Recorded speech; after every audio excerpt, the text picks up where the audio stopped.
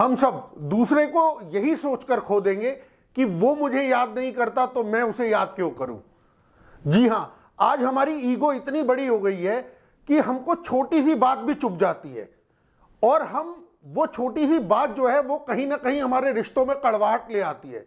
तो tip of the day ये है कि अगर किसी दोस्त ने, किसी रिश्तेदार ने आपको लंबे समय से हाय हेलो नहीं कहा, याद नहीं किया तो पहल आप कीजिए।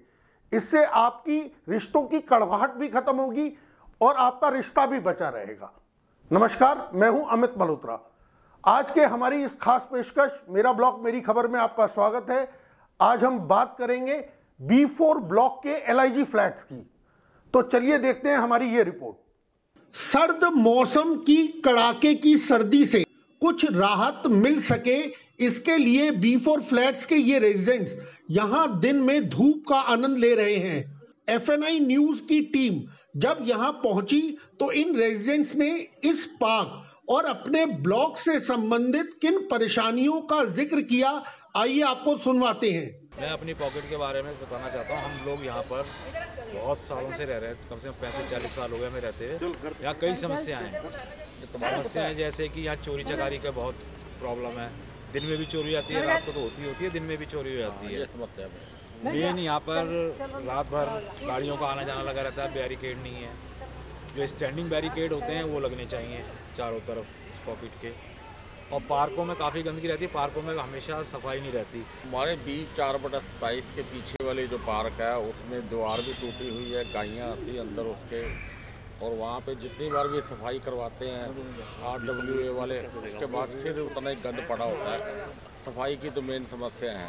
बीफर ब्लॉक के इन एल फ्लैट्स के इस पहले पार्क में भी हाल ही में बच्चों के खेलने के लिए ये झूले लगाए गए हैं। लेकिन आवारा कुत्तों और गायों के पार्कों में डेरा डाल लेने से इन पार्कों की हालत बद से बदतर हो गई है। जमादारों की हड़ताल है एमसीडी की हड़ताल है तो कूड़ा बहुत पड़ा हुआ है। ना कोई झाड़ू मारने आता है ना कोई करने आता है। जैसे सफ़ाई तो अच्छी है इधर का थी बिफोर की इधर की। पार्क की लेकिन पीछे वाले पार्क में बहुत गंदगी पड़ा है सब कोई भी उठाने थे सालों से पूरा पड़ा हुआ है। हमारे हमारे पॉकेट में बी फोर फ्लैटों में एक जिम खोला है और और भी सुधार हो रहे हैं। हमारे प्रधान नितिन बत्रा जी मंजीत धवन हमारे जनरल सेक्रेटरी साहब, जीतू जी विनय पासी जी, सारे भाई हमारी आपकी बड़ी काम कर बहुत मदद काम कर रहे हैं। निगम पार्षद के काम से हम काफ़ी हद तक बिल्कुल संतुष्ट हैं। यहाँ पर आप जो देख रहे हैं पार्कों का सौंदर्यकरण जो हो रहा है आपने यहाँ पर देखा जिम जो उनके सौजन्य से लगाया गया है। सड़कें आप देख रहे हैं लाइट्स वगैरह आप सब देख रहे हैं या सीसीटीवी कैमरेज वगैरह जो कि निगम का तो नहीं वो तो दिल्ली सेंट्रल गवर्नमेंट के अंदर से दिल्ली गवर्नमेंट के अंदर है। पर उन दोनों की साठ गांठ से यहाँ अच्छा काफ़ी काम हो रहा है वो कुछ प्रशासन की अनदेखी और कुछ हमारी लापरवाही से इस पार्क को देख कोई नहीं कह सकता कि यहाँ पर कभी कोई पार्क भी हुआ करता था। इस पार्क के सबसे करीबी जो क्वार्टर है, उसमें मैं रहता हूँ। और जब से मैं यहाँ पर आया हूँ, तब से मैं देख रहा हूँ कि ये जो पार्क की सफ़ाई है, कोई भी सरकारी कर्मचारी आकर यहाँ पे साफ़ नहीं किया है। इसकी सफ़ाई के लिए सिर्फ़ जो मोहल्ले वाले जितने लोग यहाँ पर हैं उन्होंने मिलकर ही इसकी सफ़ाई की है। हम चाहते हैं कि कुछ एक यहाँ का सुधार हो थोड़ा बहुत पार्क और ग्रीनरी आ जाए जिसके सहयोग से लोगों ने कूड़ा भी डालना बंद कर दिया हमने फाइन भी उसके ऊपर लगाया। पहले डलता था वो भी अब सुधार हो गया। तो अब बस गवर्नमेंट से सुधार की उम्मीद है कि वो हो जाए तो इस ब्लॉक का भविष्य बन जाए। पार्क जो पीछे आप देख रहे होंगे बैकग्राउंड में ये बहुत टाइम से ख़राब पड़ा, ख़राब सा पड़ा हुआ है अथॉरिटीज़ की तरफ़ से इसके कोई ध्यान नहीं दिया जा रहा। हम चाह रहे हैं कि इसमें एक, ये तो बाउंड्री बन जाए और थोड़ा पार्क की रेगुलर सफ़ाई होती रहे। ऐसा नहीं कि इस ब्लॉक के सभी पार्कों की हालत खस्ता है। कुछ पार्क्स इस पार्क की तरह आपको साफ़ सुथरे और काफ़ी हद तक मेंटेन भी दिख जाएँगे।